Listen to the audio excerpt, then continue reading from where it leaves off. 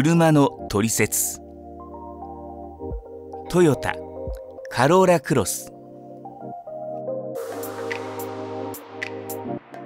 1966年に誕生し2021年7月には世界累計販売で前人未到の5000万台を突破するなど日本のモータリゼーションに大きく貢献してきたカローラ。シリーズ初の SUV であるカローラクロスは今が旬のスタイルの中に時代が求める安全と安心を備えています。ラインナップは FF のみとなるガソリン仕様が4グレード。FF もしくは E4 と呼ばれる 4WD を選択できるハイブリッド仕様が3グレード。価格帯はおよそ200万円からおよそ320万円となります。WLTC モード燃費はガソリン仕様がリッター 14.4kg ハイブリッド仕様の FF 車がリッター 26.2kg 4WD 車が 24.2kg 使用燃料はいずれもレギュラーガソリンとなります。今回はハイブリッド Z の FF 車で高速道路と一般道をおよそ180キロ走行しましたがメーター表示の実燃費はリッター20.0キロでした。運転支援システムはトヨタセーフティーセンスを標準装備し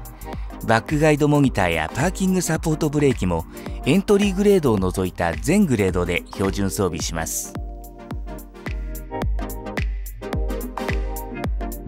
ボディサイズは全長 4490mm ホイールベース 2640mm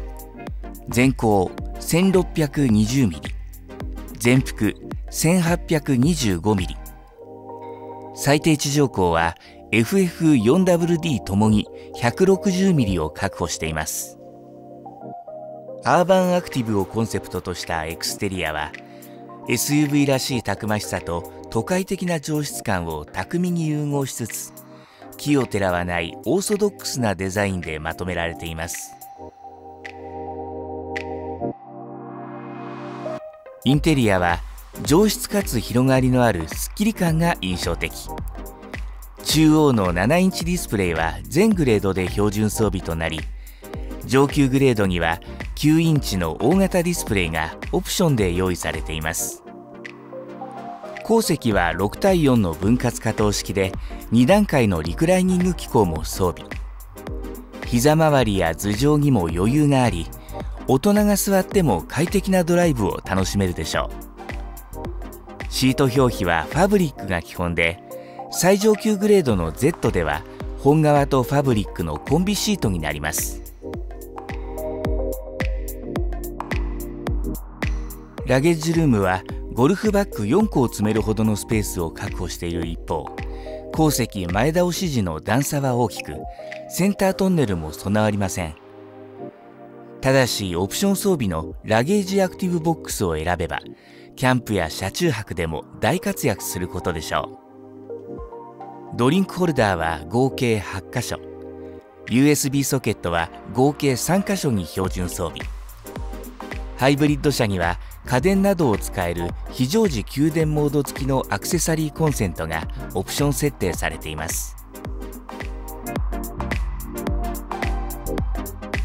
今回試乗したハイブリッド Z はカローラクロス専用に最適化したハイブリッドシステムを搭載し